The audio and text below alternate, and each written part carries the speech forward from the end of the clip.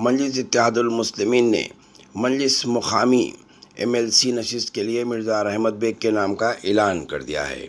सदर मजलिस बैसुद्दीन अवैसी ने अपने ट्विटर के ज़रिए रहमत बेग के नाम का ऐलान किया था और इसके बाद बी आर एस हुकूमत की जानब से भी इनकी तायद का ऐलान कर दिया गया है।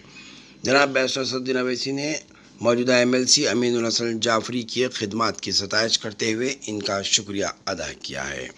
नाजिन हम आपको बताते चलें कि अमीन हसन जाफरी एक सहाफ़ी की हैसियत से अपनी मुनफरद पहचान रखते थे।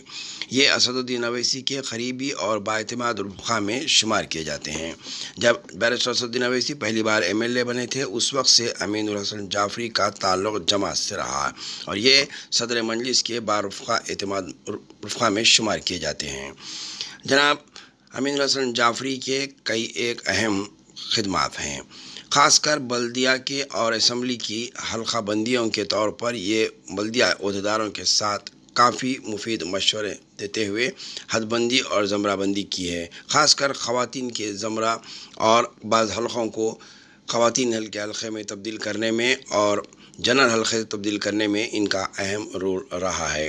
हुकूमत की जानब से इन्हें प्रो चेयरमैन भी बनाया गया है। ये दूसरे मुस्लिम प्रो चेयरमैन बने हैं।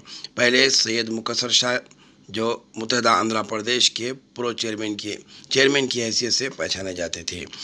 जनाब मिर्ज़ा रहमत बेग, ये नए उम्मीदवार हैं जो एमएलसी की हैसियत से तेरह मार्च को मुकाबला करेंगे। मिर्ज़ा रहमत बेग, ये नाम जमात के लिए और आवाम के लिए कोई नया नहीं है। मजलिस की जानब से इन्हें जो मुखा, मुकाबले के लिए नाम दिया गया है।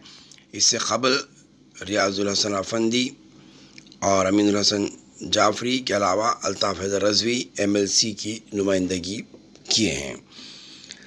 जनाब रहमत मिर्ज़ा रहमत मिर्ज़ा रहमत बेग, जनाब सैयद सज्जाद मरूम एम एल ए और अहमद पाशा खादरी साहब एम एल ए के साथ हल्के असम्बली आसिफ नगर, कारवान और चार मीनार में काफ़ी खदमात अंजाम दिए हैं।